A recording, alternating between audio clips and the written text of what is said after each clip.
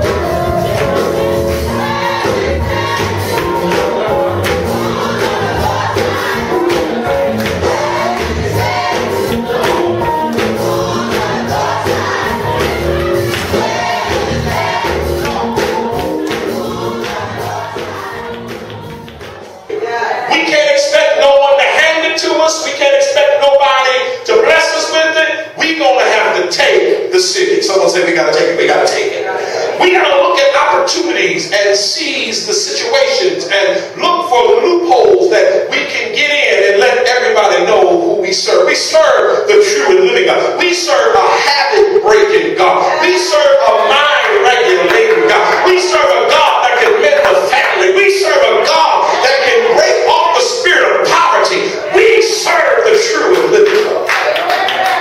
And so you have to understand in order for spiritual renewal, there must consist of renewal of covenant. So the two areas in which the children of Israel So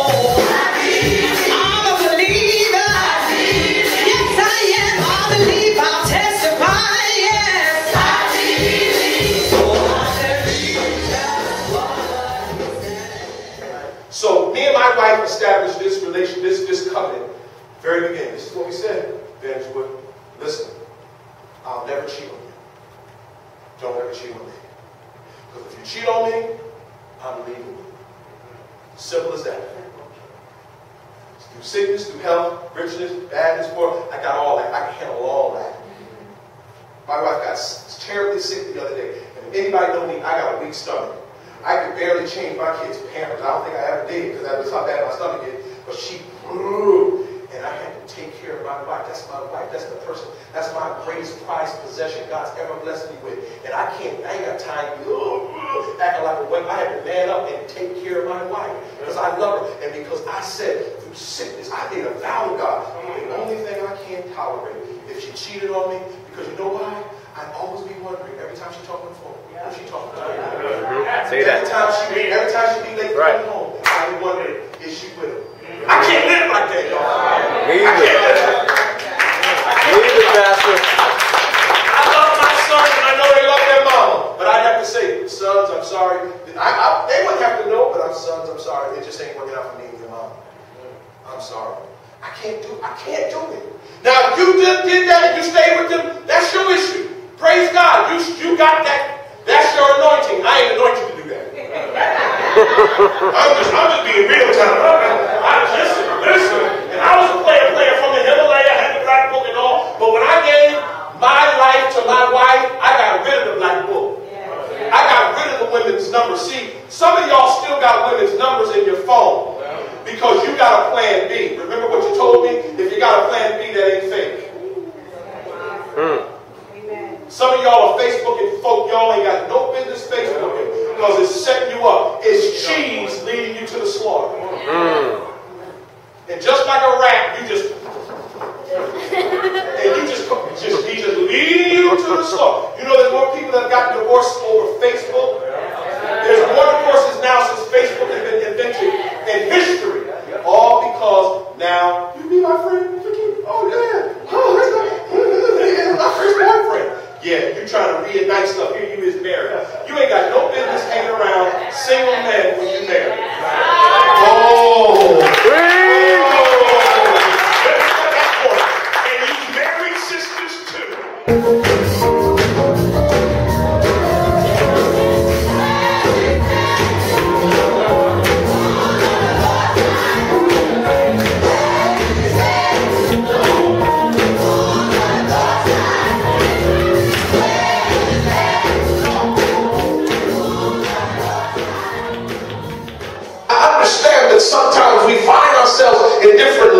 In our lives, and, and we got to come to a place of understanding what level we're on. Some of us right now, we're in the level of identity. We, we're finding ourselves in who He is because for a long time, people have told us that we were this and we were that, and we have to settle with what people told us who we were. And now that we've come into the thing of God and we've come into the things of God, the knowledge of God, we realize and recognize that we were nothing of what people told us we were. As a matter of fact, some of us have been given nicknames that we're not even any longer. And so God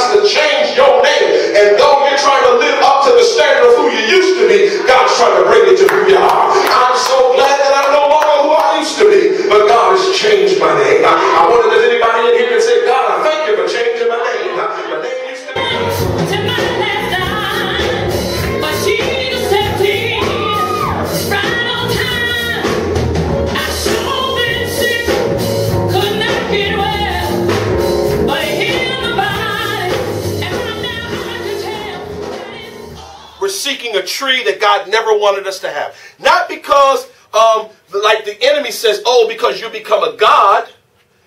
And see, that's what a part of the Adamic nature is, is that we want to be so much like God. We want to be so much a God. We want to so much be in control of our destiny and the things that we do. We go against the one that has control over us. So we act like kids. We act like our kids treat us. You say, don't go outside with no coat on. Put a coat on, put a scarf, put a hat on. It's cold outside. They're like, okay, as they're walking outside with no coat, shirt wide open. Mm-hmm.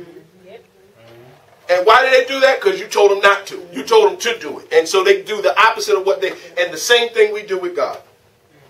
Same thing we do with God. This, this, this world, this earth would run so much smoother if we obey God.